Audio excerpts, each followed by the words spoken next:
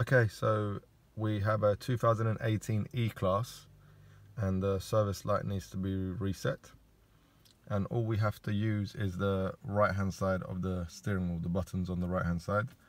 Um, in this case, we're in the UK, so it will be the right hand side closest to the driver's door. If you was in America or Europe, it will be the left hand side of the steering wheel that would need to be used.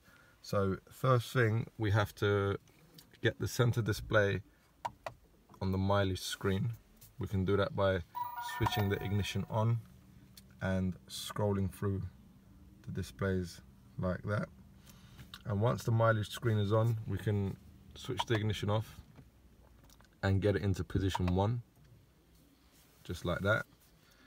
And using the return button and the tab button, firstly, we press and hold the return button.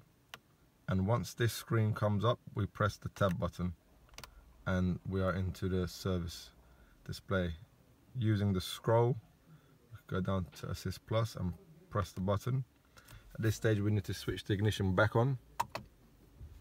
Once the ignition is on we can carry on and scroll down to full service and then confirm service. Pick which oil was used and then confirm by pressing yes. And that's it. Pretty simple. Thank you for watching